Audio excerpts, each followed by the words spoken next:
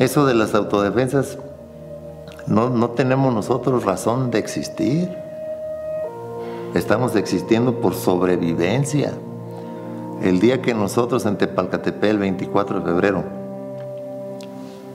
enfrentamos nuestros miedos y combatimos nuestros temores, nos dimos cuenta de nuestra grandeza.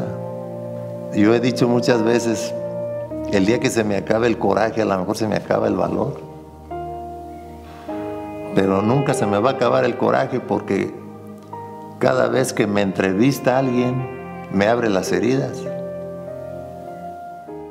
En este nuestro país, primero hay que poner orden para luego hacer justicia. Liberen a Mireles, no sean cabrones.